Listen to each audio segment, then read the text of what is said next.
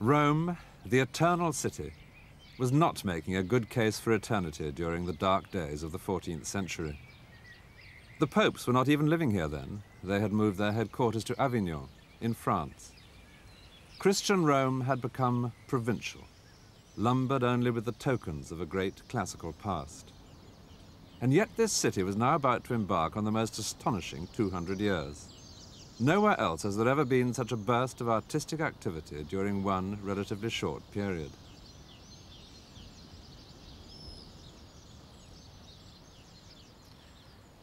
The turning point for Rome had come one day in 1420, when a new pope, Martin V, rode into the city, with his retinue of cardinals and clerks, most of them on mules, and plenty of strongly armed retainers. He'd had a difficult journey. He'd been elected pope at a council in Germany, but so wild were the times, and so short of funds the papal treasury, it had taken him three years to get here.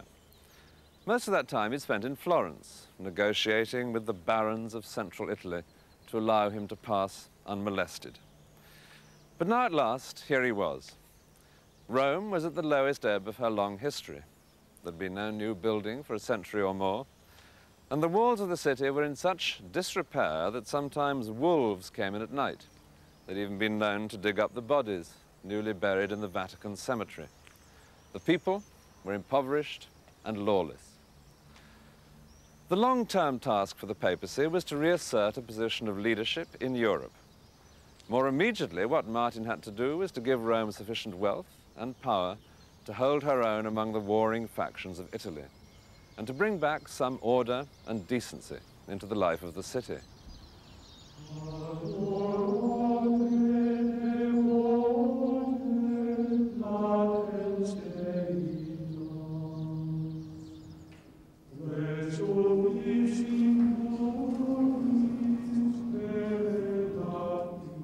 order of a very familiar and reassuring kind, in the form of plain chant, was an everyday part of religious life, as it had been now for some 800 years. This music had hardly changed since its greatest period under Pope Gregory in the 6th century.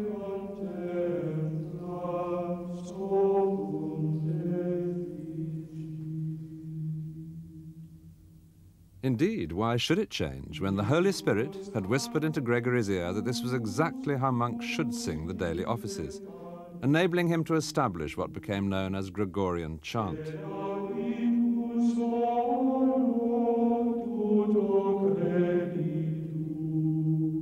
This form of singing remained the permanent background sound of the religious life, like the pleasant buzzing of insects on a summer's day. But for a special occasion, something much more elaborate would be provided.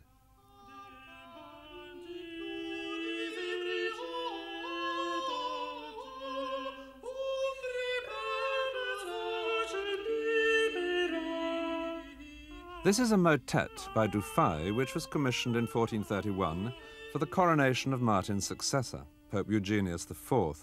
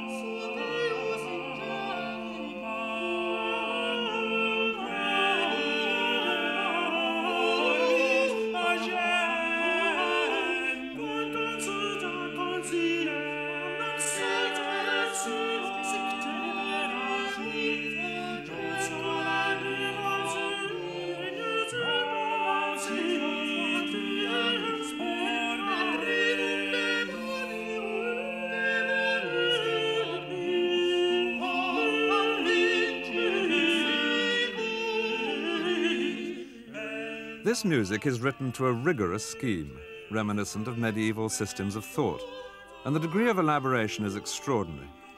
The lower voices are singing two different melodies, each one six times over, while a third voice sings yet another tune three times in the same period, leaving the two top voices to concentrate on music, different yet again, which is fast-moving and of great vigor. And verbally, the whole ensemble involves three different texts in addition to the words of the plain chant.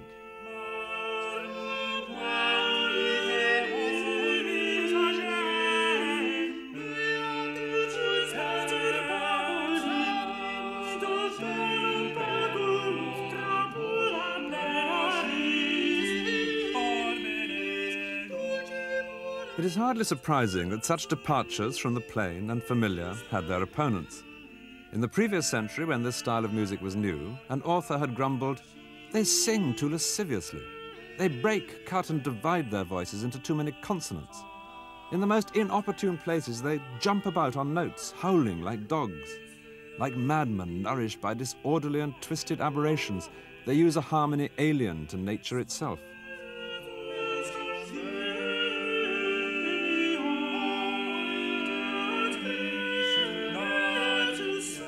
But the Bishop of Chartres felt that this might well be the sound of heaven. Such music, he argued, transports the soul to the society of angels.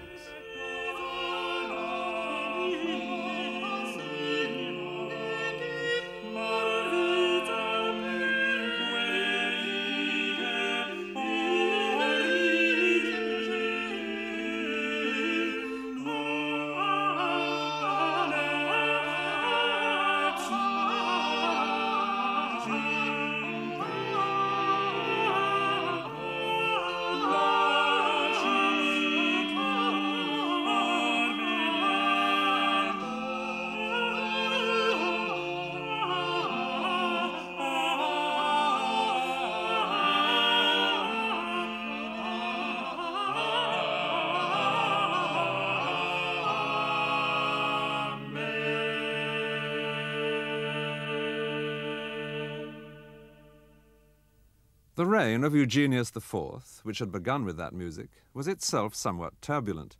Indeed, at one point the people of Rome chased him from the city. But under his scholarly successor, Nicholas V, Rome settled down in 1447 to the business of transforming herself once again into the artistic center of Europe.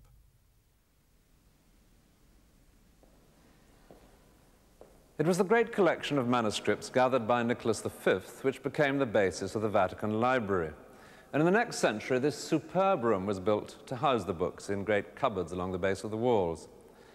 Nowadays, in the age of paperbacks and public libraries, a hundred books, or even a thousand, doesn't seem that many. But then, when a manuscript took months to write, and as likely as not years to illuminate, it was an astonishing achievement that early in his reign, Nicholas V had collected no less than 350 manuscripts, and a few years later increased that number to more than a thousand. Once the collection existed, later popes added to it and cherished it.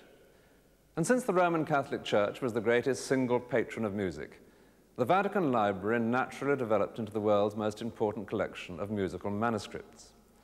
Such manuscripts are a rich source of information for scholars and for the rest of us, thanks to the excellent habit of decorating the more precious of them, a feast to the eye.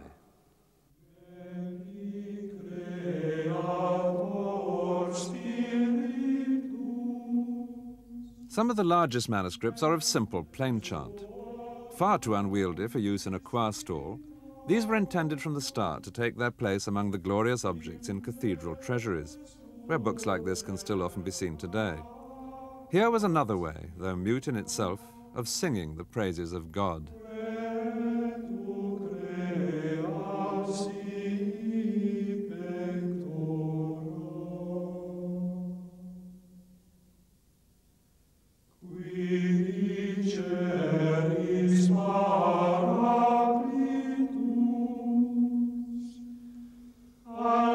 Strangely, the best music written in Rome in the 15th century was not by Italians.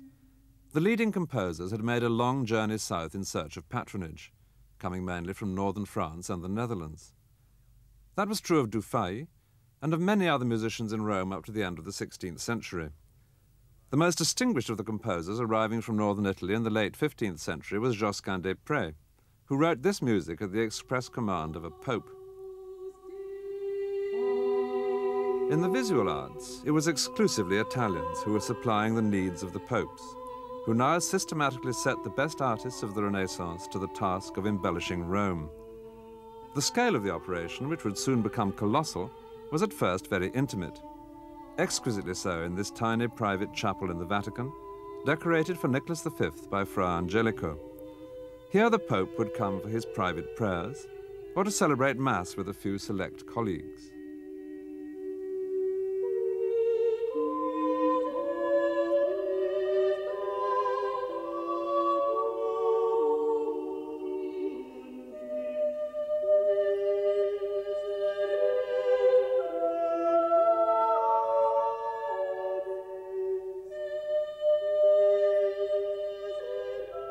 Of the paintings shows an early pope giving the treasures of the church to St. Lawrence so that he may distribute them to the poor. Happily for Vatican finances, the treasures of the church were now building up, helped by the Jubilee year of 1450, when vast crowds of pilgrims brought wealth to Rome.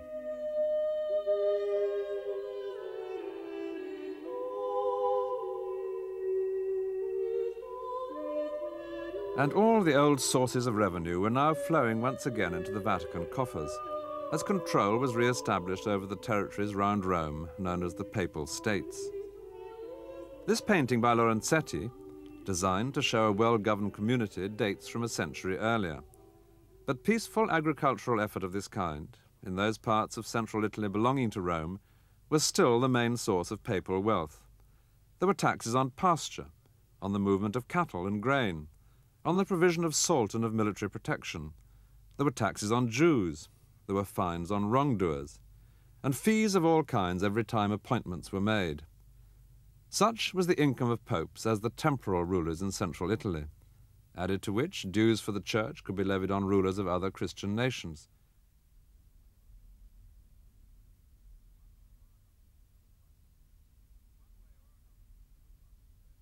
One way or another, there was money available and the popes were making spectacular use of it.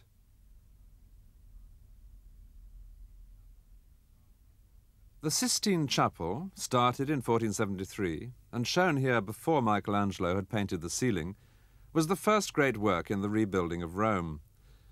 Sixtus IV, who founded the chapel, now known by his name, established also a papal choir to sing in it, the Sistine Choir, and Josquin des Prés was a member of the choir for about 12 years.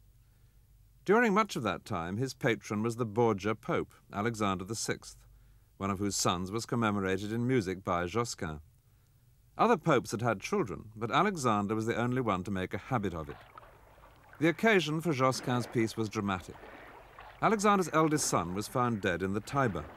He was one of at least eight children acknowledged by the Pope, and in his unexplained murder, scandal and tragedy were inseparable when the body of the Pope's son was dragged from the murky waters of the river with nine dagger wounds, it seemed to contemporaries the most shocking event in a papal reign which has come to symbolize all that was shocking about the Renaissance papacy.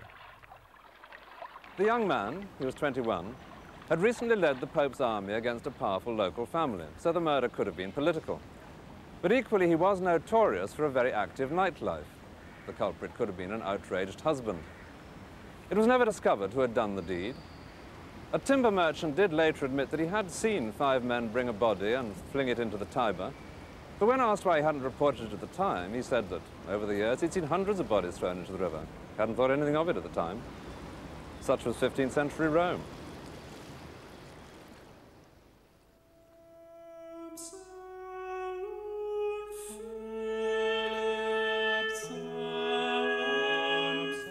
O Absalom, my son, my son. Josquin's lament for the death in the Pope's family sets the words of the Bible in which King David mourns his own favorite son. In this new measured style, with its more sinuous vocal line, Josquin gives himself breathing space to express deep human emotion, so bringing music more into step with the visual arts at this period, the High Renaissance, when the popes were about to commission some of the world's greatest masterpieces.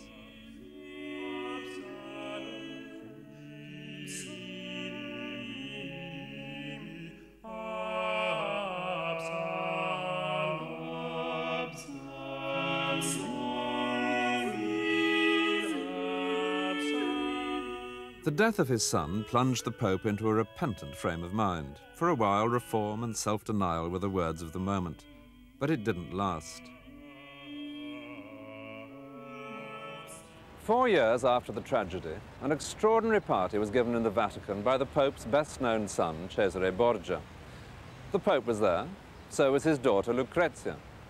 And the occasion is described in somewhat tight lipped fashion in a secret diary kept by the Pope's Master of Ceremonies. There were in attendance, he said, 50 respectable prostitutes known as courtesans. After supper, they danced, first clothed and then unclothed. And then the candles were taken from the table and put on the floor, and chestnuts scattered among them, for the naked courtesans to crawl around, picking them up. Finally, the Master of Ceremonies confided to his diary there were prizes given, such as silk doublets and hats to those of the male servants who could perform most often with the courtesans. Well, such a party, even with a pope present, can confidently be described as secular. And it raises the interesting question of what sort of music Cesare Borgia would have considered appropriate for the occasion. What was the secular music of the time?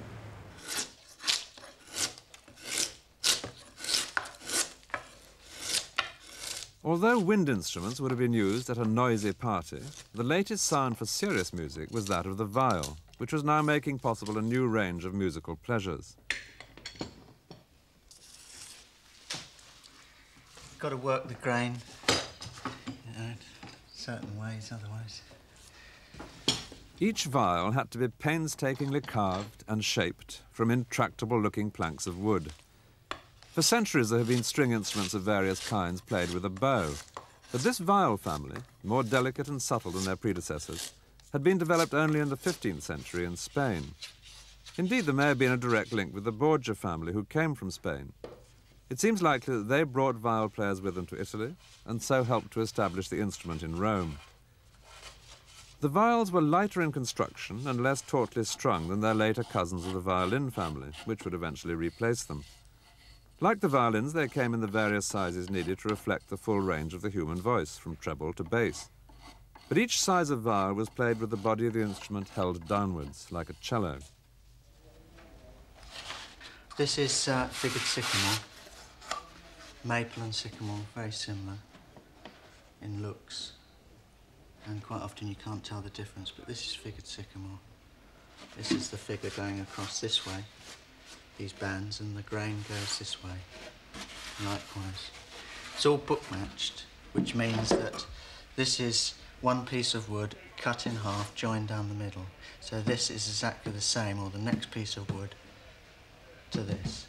And likewise the ribs are book matched in the same way. This is uh, cut in half to make this and likewise this one and this one and this one and this one. So everything on the instrument, the tensions are all equal.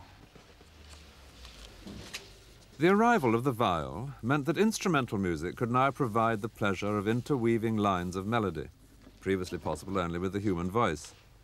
Music written for four voices would now also be considered suitable for playing on four viols. Indeed, the presence of words on a surviving manuscript may often be the only indication that a composer intended his piece for singing. Today, with the growing interest in music performed on the correct period instruments, viols are once again being made, imitating as accurately as possible those instruments which have survived.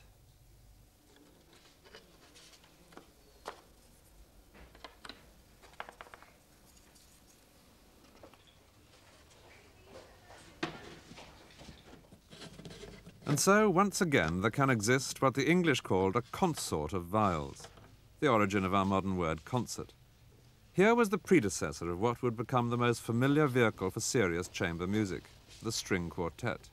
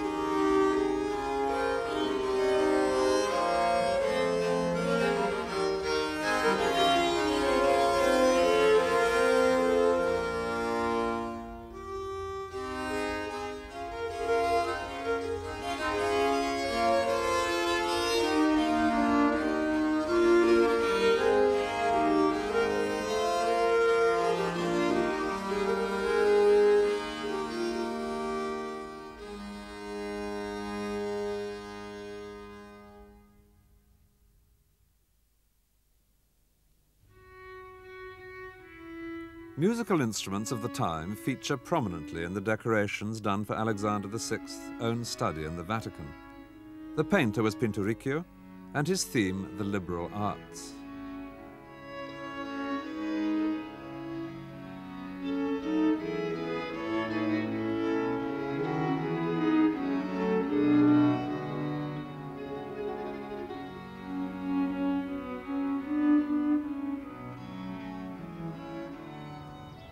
Just as musicians in Rome were now providing pieces which could be either played or sung, so the city's religious music for special occasions was also becoming more adaptable. Previously, any new work had only been performed once, on the occasion it was written for. Now, masses were being composed for use whenever something out of the ordinary might be required, such as this one by Josquin des Prés. Here were the beginnings of something we now take for granted, a standard repertoire.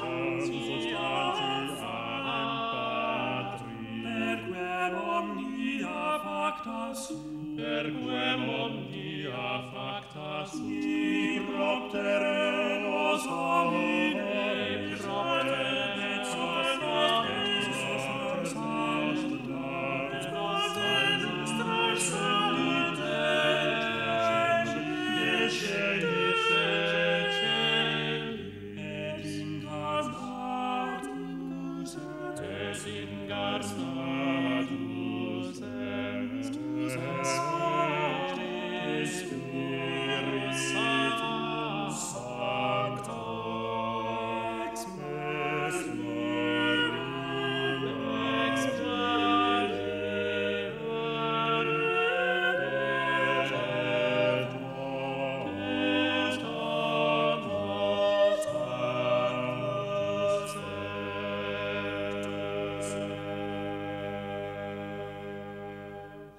Upon the ruins of ancient Rome, there were rising the structures of the Renaissance city. The classical past was the age to which people now looked for inspiration. And anyway, the architects were not going to waste such sturdy foundations. The base here is a theatre founded by Julius Caesar himself. Crowning it, like a capped tooth but considerably more secure, is a 16th century palace.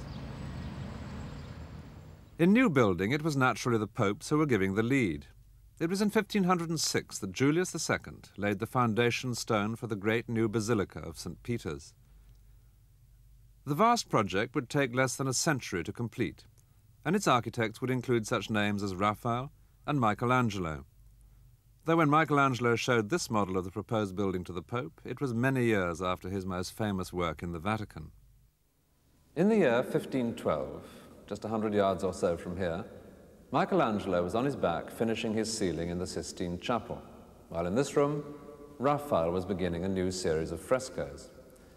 The subjects have a clear political message. They show scenes from the past which have been chosen to illustrate, by analogy, the achievements of the present-day Pope. And to emphasize the point, the Pope in each historical scene has the face of his modern counterpart, which enables us to date the frescoes very precisely. The kneeling Pope on the wall above is a portrait of Michelangelo's great patron, Julius II the Pope who also first employed Raphael in the Vatican. But Julius died early in 1513. And so the Pope on this wall has the face of his successor, Leo X. He was just as eager as Julius to continue the great work of creating a glorious Rome, and he appreciated as keenly the genius of Raphael, not only keeping him on at work in these rooms, but also appointing him the architect of the new St. Peter's and meanwhile sitting for his own portrait. Like nearly all the popes at this time, who were great patrons of art, Leo was a member of one of Italy's princely families, in his case the Medici. A typically swift rise through the ranks of the church was made by a member of another princely family, the Farnese, who became pope as Paul III. He had been made a cardinal at the tender age of 25, largely because his mother was having an affair with Pope Alexander VI, and it was he who began building a great palace outside Rome at Caprarola. The Farnese family would come out here to Caprarola in the summer to enjoy cooler air in the hills. And if visitors are impressed by the scale of this grand design, it is relevant that no clear distinction was made at the time between the income of the papacy and that of the Pope himself. A little extravagance was inevitable, and certainly part of the attraction of the job. But it was also a measure of the new security of the Papal States that a fortune could now be safely spent on a great house some 50 miles from Rome without serious fortifications. This is definitely a palace rather than a castle, and it is decorated throughout in palatial style with some very specifically up-to-date murals. This splendid room at Caprarola, known for obvious reasons as the map room, reflects the new 16th century view of our planet which had been much expanded in recent years. On a map of the previous century, moving west across the Atlantic, the first landmass would have been Asia, with India looming rather larger than China. But then in 1492, the year when the Borgia Pope, Alexander VI, was elected, Christopher Columbus sailed westwards looking for a shorter route to India. Instead, no surprise to us, he discovered America.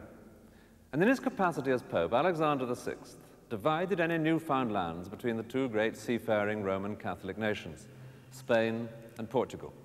And he did so by a very simple device. He just drew a line straight down through the Atlantic, and he said all discoveries to the west of that line would go to Spain, and all to the east to Portugal. By the east, he meant the Far East, India, and beyond, where the Portuguese had been exploring. What nobody knew at the time was that the Pope's line had just nicked the eastern coast of South America so giving the Portuguese a foothold there, and years later, moving inland, the whole of mighty Brazil. But for the moment, the wealth of America had fallen into Spanish hands in the gold and silver of Mexico and Bolivia and Peru. This was brought back to Spain and so enriched all Europe, and indirectly the Pope and his cardinals. This building is evidence of that. Now, if a princely cardinal were entertaining on a lavish scale in a room such as this, his first choice for the music would probably be wind instruments, because they were louder than any others. They could compete with the noise of a good party. He could also have music from viols. But if the occasion was more intimate, providing pleasant entertainment for an evening at home, the natural choice was the lute.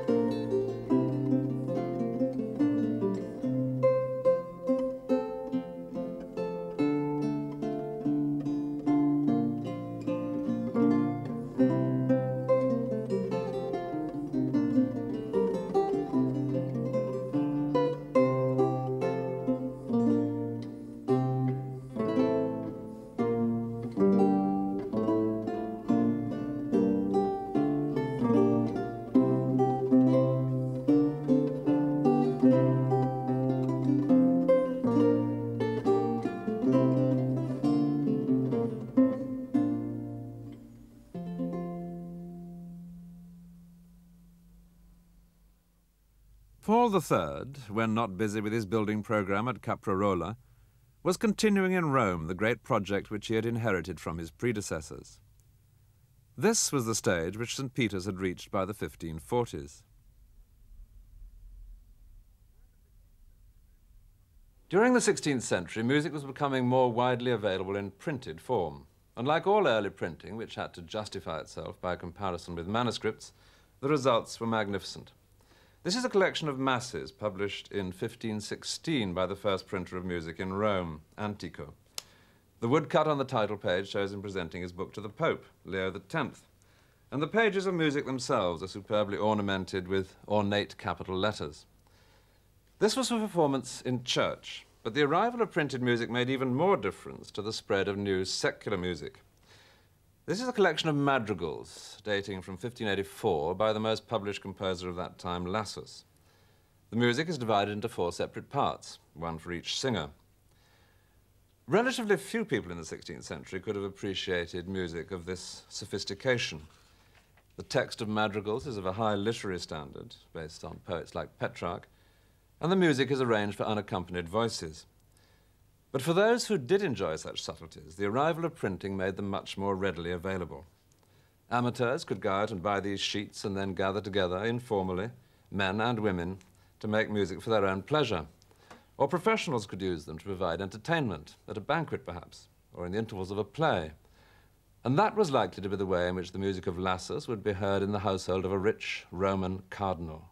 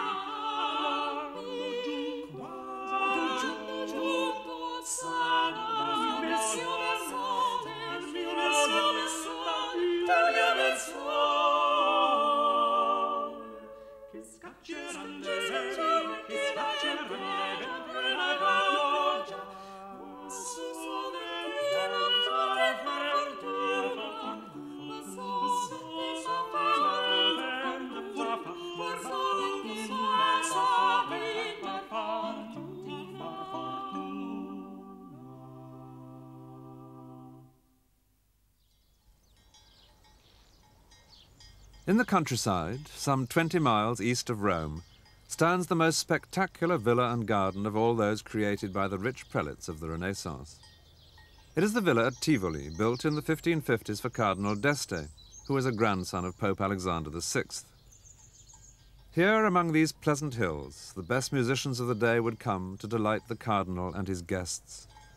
Among them was the leading writer of that increasingly sophisticated form of entertainment, the madrigal, he was Marenzio, who wrote in all some 600 madrigals.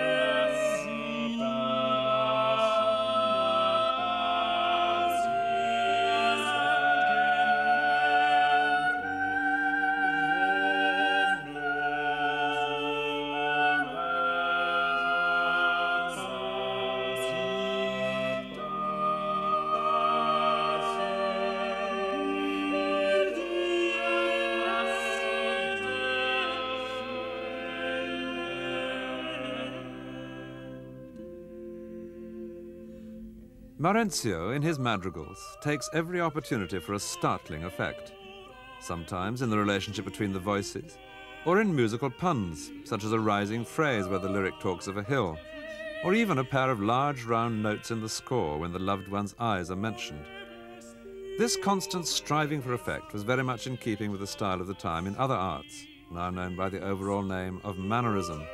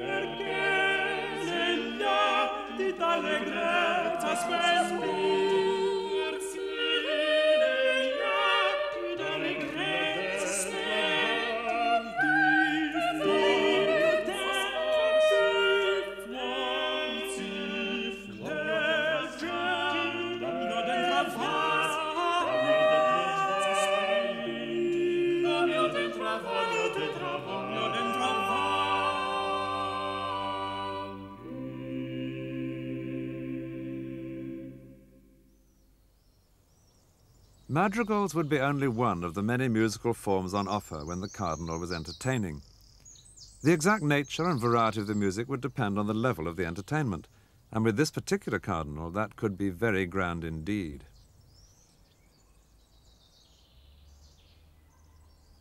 Many years before Cardinal d'Este had moved into this villa at Tivoli, he had given one of the most sumptuous banquets of the century. He was only 20 at the time, not yet a cardinal, he was Archbishop of Milan. But the entertainment was so lavish that when the chief steward of the d'Este family later came to write a book on how to organize a banquet, he put this one at the top of his list, describing all the events of the day with details of the food and the music, to give his readers an idea of a really good party. There were about 50 guests, and they spent the morning outside in a kind of tournament. The ladies watched while the gentlemen tilted at a ring the Archbishop would be as proud as any other young man of his skill on a horse. They came indoors at about two, and during the afternoon some actors performed a farce, while in the garden the steward and his army of servants were preparing the surprises of the banquet. These included a specially built leafy bower from which dancers and musicians would appear.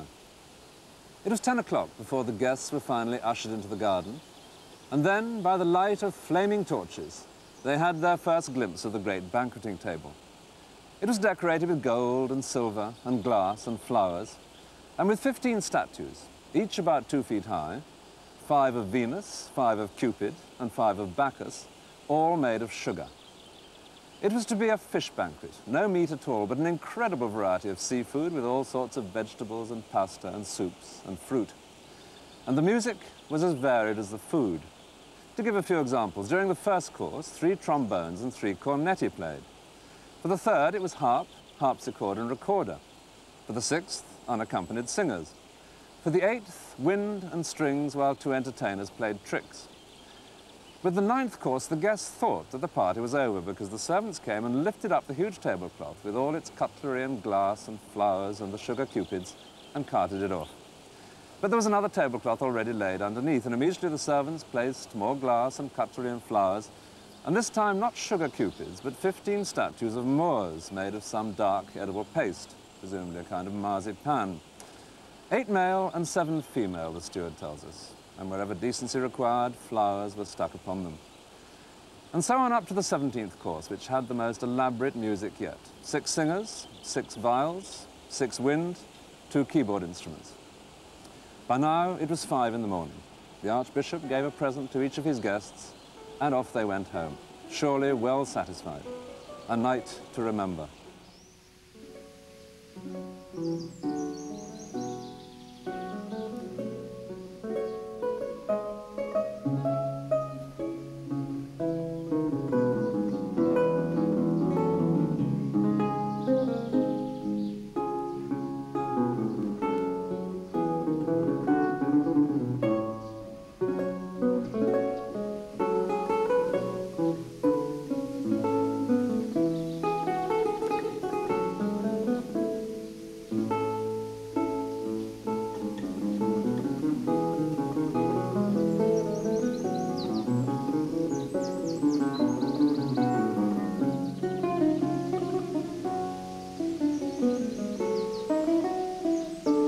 This villa at Tivoli has one much greater claim to a place in musical history than its link with Marenzio.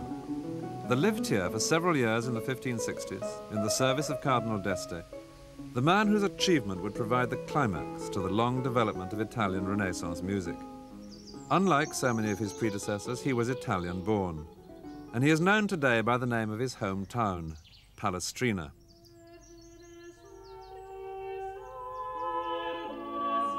It seems a small town now, partly because it has changed so little since the childhood days of its favourite son. No doubt, like many musical children from small communities near Rome, which is only 20 miles away, Palestrina spent several of his early years away from here, singing in the choirs of various Roman churches. But when his voice broke, he came back, and surprisingly, this was no bad place to develop a career in music.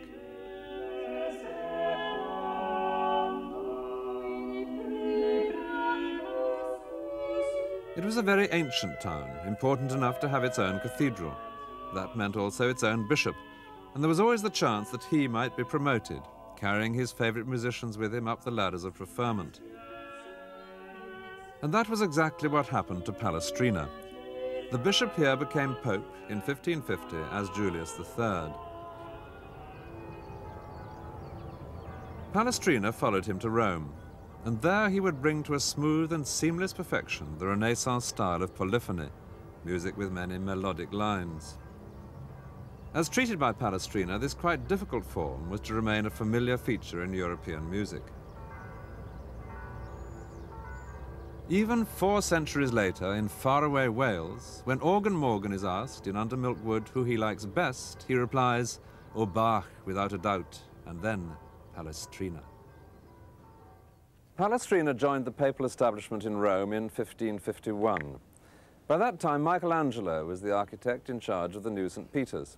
And when Michelangelo died, the building had got up to the top of the drum, that's just above the columns, with as yet no dome in place above it. Apart from a few brief interruptions, as when he was in charge of music at the Villa d'Este, Palestrina worked here in Rome for nearly half a century, composing more than a hundred masses and much else besides.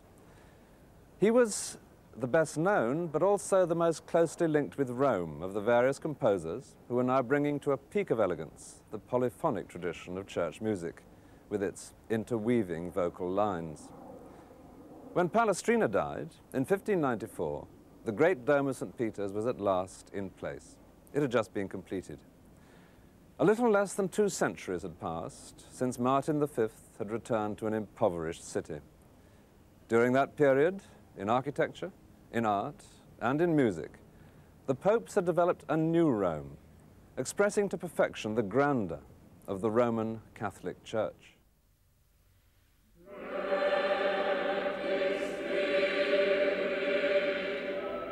The chief characteristic of Palestrina is his effortless texture, as short phrases are taken up by each voice in turn. His music has been used for three centuries as the basis for the study of counterpoint. Yet his famous smoothness may have been in his own time more apparent than real. He was writing for the Sistine Choir, and their style of singing involved a great deal of elaboration. Here, in a rare performance on film, today's Sistine Choir, larger than its Renaissance equivalent, sings in St. Peter's part of Palestrina's Mass of Pope Marcellus.